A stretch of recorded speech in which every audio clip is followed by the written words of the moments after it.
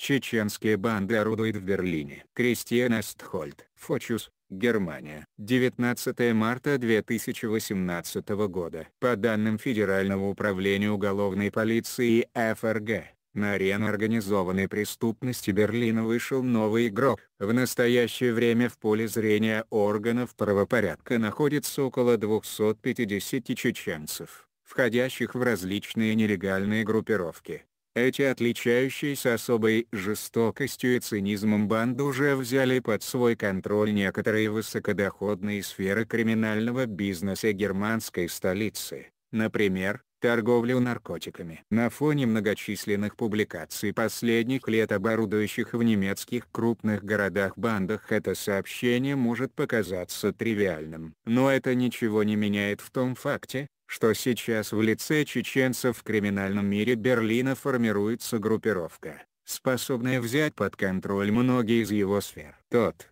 кто захочет найти объяснение этому феномену, должен будет более комплексно подойти к проблеме, чем это делалось до сих пор, так как долгое время опасность, исходящая от чеченских банд, недооценивалась. До последнего времени чеченцы проявляли себя в первую очередь как исламисты. Кроме того, они были малозаметны на фоне больших арабских кланов, без ведома которых в Берлине уже давно не заключается ни одна сделка и насчитывающих по час до 800 членов что фактически лишает полицию какой-либо возможности пресекать их преступную деятельность. Из этого политики сделали вывод, что несравненно более мелкие группировки потенциально менее опасны, что в принципе не лишено логики, но в случае с чеченцами оказалось сложным посылом, ибо их ударная сила никогда не базировалась на количественных показателях. Согласно полицейской статистике Берлина в 2016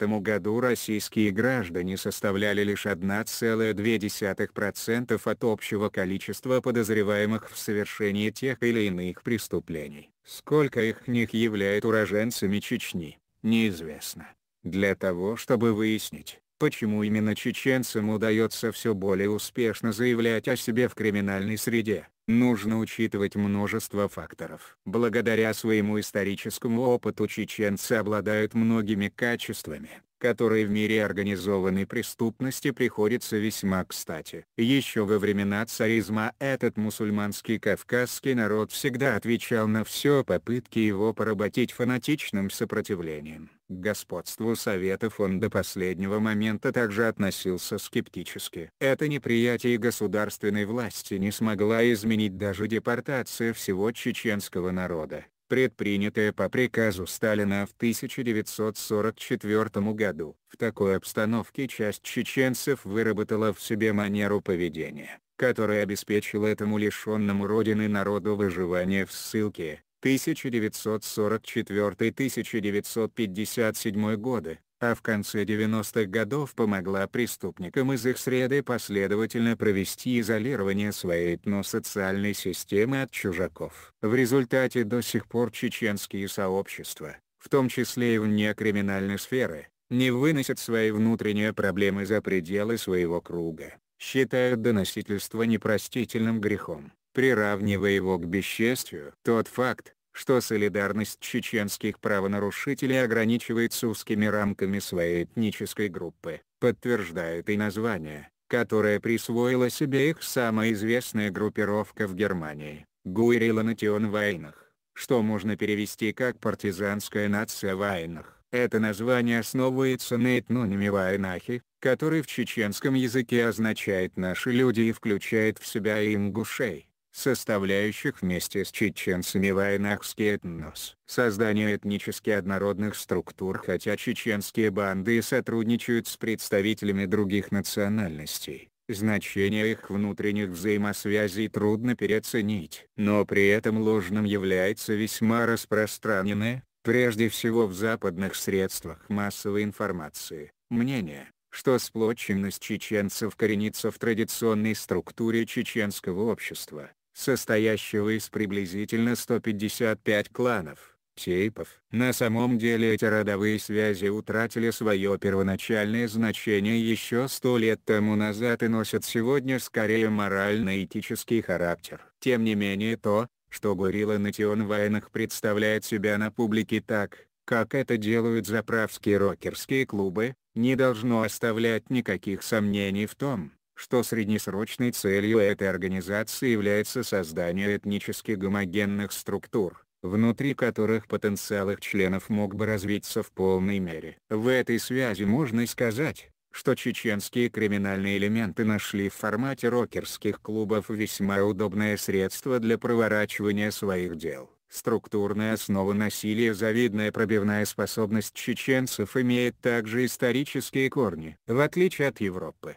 где общество после 1945 года практически маргинализировало насилие, на Северном Кавказе оно до сих пор является легитимным средством разрешения конфликтов. Кроме того, многовековая оборонительная борьба с центральным государством привела к тому, что склонность к насилию укоренилась в менталитете чеченцев глубже, чем у многих других народов, в комбинации с низкой лояльностью по отношению к государственным структурам, которые Россия постоянно навязывала чеченцам против их воли. У них возник тип характера, который использует криминальные элементы. Воры в законе оказались бессильными тот, кто хочет узнать, насколько боеспособно чеченское криминальное сообщество, должен бросить взгляд в недавнее прошлое России. Вследствие краха системы в 90-е годы российское государство испытывало большие проблемы с подтверждением своей монополии на насилие, благодаря чему организованная преступность расцвела пышным цветом сея страх и ужас. Даже печально знаменитые воры в законе, чьи организационные структуры возникли в созданных большевиками исправительно-трудовых лагерях и которые с тех пор живут по своду строгих законов, ничего не могли противопоставить чеченцам, ставшим известными тем, что они непрошенными являлись на воровские сходки и тут же открывали огонь из автоматов. Способность чеченцев даже в небольшой группе людей генерировать невероятную криминальную энергию не в последнюю очередь является следствием того, что они способны лучше кооперировать друг с другом, чем представители других этнических групп. Так как у них на родине существует особый кодекс поведения, который охватывает практически все аспекты жизни, им не составляет труда улаживать все свои проблемы по взаимному согласию. При этом не играет роли, что этот кодекс в принципе интерпретируется чеченцами позитивно и призван побуждать их к добродетельному поведению. Немецкое государство не пользуется уважением можно сказать,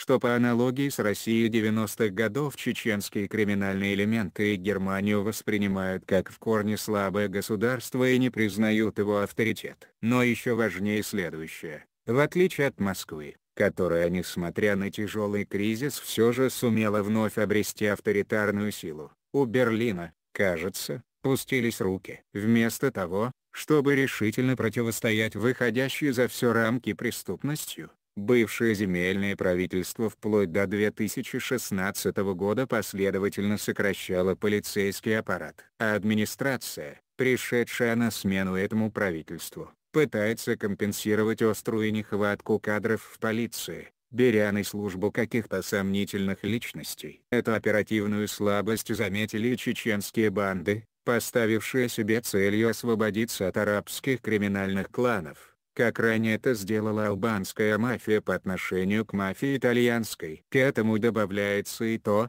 что разделительные линии внутри мусульманской среды, где чеченцы уже давно задают тон, обозначены весьма слабо. При этом речь тут идет о феномене, который проявился еще в ходе Первой Чеченской войны, 1994-1996 годы когда членам мафии удалось легко переметнуться в лагерь джихадистов. Чечня – самый безопасный регион России в то время как чеченские криминальные элементы в Германии стараются стать самостоятельной силой, их родина, как это ни странно, считается самым безопасным регионом России. Согласно опубликованному 25 сентября 2017 года отчету о состоянии преступности в России, Название документа проверено. В Чечне отмечается самый низкий показатель преступности в стране. В течение года здесь на 10 тысяч жителей зарегистрировано 17 преступлений, из них только 5 из категории тяжких. Для сравнения в республике Тыва, находящийся на юге страны на границе с Китаем и считающийся самым криминальным регионом Российской Федерации. Эти показатели составляют соответственно 182 и 37. Из-за опасной обстановки, сложившейся в Берлине в последние годы, политикам было бы неплохо понять, что чеченцы представляют собой весьма опасную, чрезвычайно решительную и боеспособную группировку. Она обладает потенциалом, развитие которого можно эффективно остановить, лишь применяя имеющиеся законы со всей строгостью. Хотя с сегодняшней точки зрения трудно давать надежные прогнозы. Но ясно одно, что нашему правовому государству в его попытке положить конец деятельности чеченских банд предстоят весьма серьезные испытания. Биографическая справка об авторе Кристиан Эстхольд, эксперт по Чечне и исламизму. Его экспертиза основывается на многочисленных исследованиях на местах в Северном Кавказе, После публикации монографии о роли исламизма в чеченском сепаратизме после 1991 года Астхольд в 2017 году написал работу с подробным изложением российско-чеченского конфликта. Эта отмеченная предикатом Сумачум Лауди работа выйдет в свет в 2018 году и будет посвящена отношению ислама и движения сопротивления. 1757-1961 годы. В качестве эксперта Эстхольд часто выступает в теле- и радиопередачах и консультирует различных политических и общественных деятелей.